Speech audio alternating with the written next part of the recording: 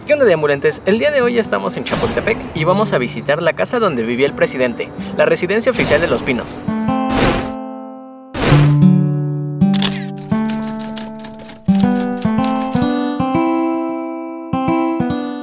Pues la residencia oficial de Los Pinos fue hogar del presidente desde 1934 hasta el año 2018, ya que después se convirtió en un complejo cultural.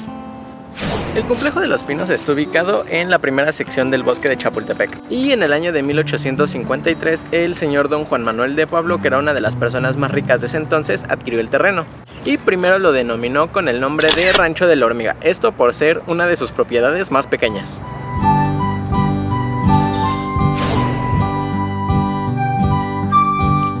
En 1934, Lázaro Cárdenas decidió que el castillo de Chapultepec no debía ser el hogar del presidente, que debía estar abierto al público, por lo que prefirió vivir en el rancho de la hormiga, pero cambiándole el nombre a Los Pinos, ya que consideraba que el nombre del rancho de la hormiga no era adecuado para ser la residencia oficial del presidente.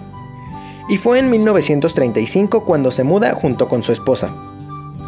Sus sucesores también decidieron vivir en Los Pinos, pero fue Miguel Alemán quien decidió construir una casa más funcional para los siguientes presidentes. Ahora estamos en la calzada de los presidentes. Aquí podrás encontrar estatuas de todos los presidentes de México que habitaron el complejo de los pinos. Y vas a poder encontrar eh, sus estatuas y debajo una placa conmemorativa con su nombre y el periodo en el que gobernaron desde el periodo del expresidente Lázaro Cárdenas, que empezó en 1934 y fue el, presidente, el primer presidente que vivió aquí en Los Pinos. Y el último fue el expresidente Peña Nieto, que terminó su gestión en 2018.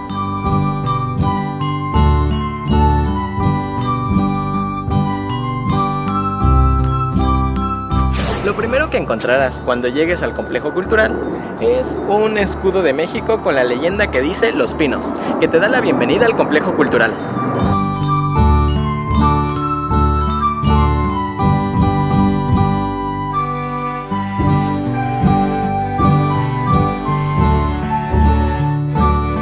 También si entras por la calle de Molino del Rey podrás encontrar una serie de cañones que conmemoran la batalla que tiene el mismo nombre y que hacen referencia a los soldados que participaron.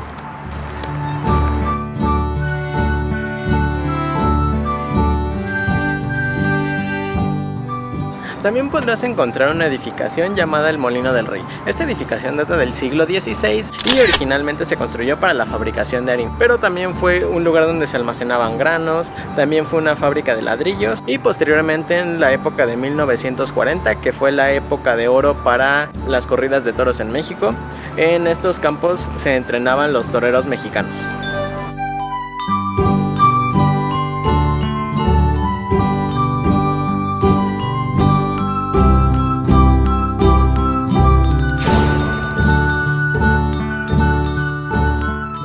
Ahora nos encontramos dentro de la casa del expresidente Lázaro Cárdenas. Aquí podrás encontrar una exposición permanente dedicada a este presidente que fue el primero en habitar la residencia de Los Pinos. Y dentro podrás encontrar un poco de la historia del recinto cultural y un poco más de la historia de México.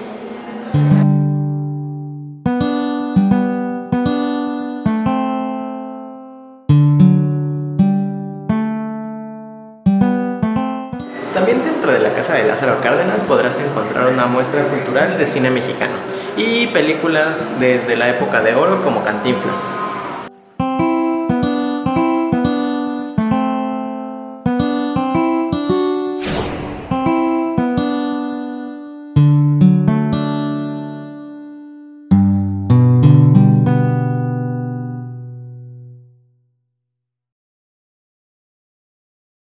Al llegar a la casa Miguel Alemán podrás encontrar y ver sus candelabros de cristal, techos altos y algunos muebles que siguen en el edificio.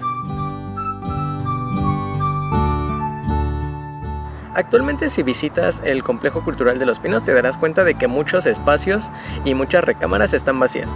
Esto se debe a que los muebles y obras de arte fueron llevados a la actual sede de la casa presidencial que ahora está en el Palacio Nacional y solamente quedaron aquí algunos muebles como los que se encuentran en la oficina presidencial.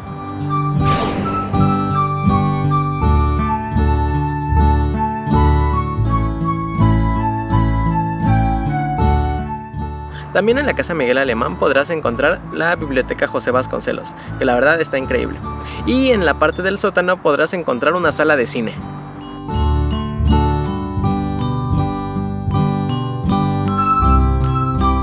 Uno de los secretos de la casa es el búnker que está en el sótano, que se dice que tiene un túnel que lleva hasta el Parque de la Hormiga. Este era utilizado por los residentes para salir sin que nadie los viera. Aunque esto solo es un rumor. Pues como puedes ver, la residencia oficial de Los Pinos guarda relatos e historias interesantes en cada uno de sus rincones. Y esto se debe a que todos y cada uno de los presidentes desde 1935 hasta el 2018 la habitaron.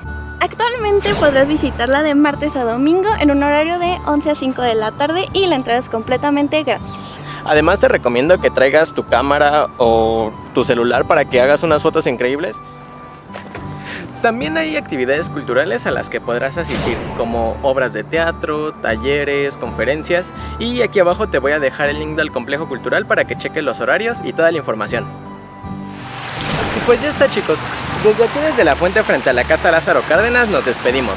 No olviden dejarle su like al video y compartirlo con todos sus amigos. Además los invitamos a seguirnos en todas nuestras redes sociales para que nos sigan acompañando en todas nuestras aventuras y los invitamos a suscribirse a nuestro canal de YouTube para que nos acompañen y sigan conociendo lugares interesantes.